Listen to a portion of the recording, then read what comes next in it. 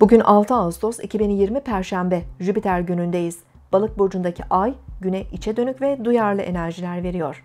Çevremizdeki kişilerin duygu ve düşüncelerini hissedebilir, empati yapabiliriz.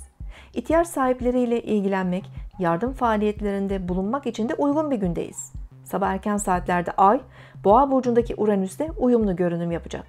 Bilinçaltımızın hareketleneceği bu saatlerde ilginç rüyalar görmemiz de mümkün uyarıcı etkilerle ani farkındalıklar da yaşayabiliriz. Hayal gücümüz ve sezgilerimizi somut değerlere dönüştürmemiz de mümkün olabilir. Balık burcunda ilerleyen ay akşam saatlerinden itibaren Neptünle birleşirken Oğlak burcundaki Jüpiter'le de uyumlu görünüm yapacak.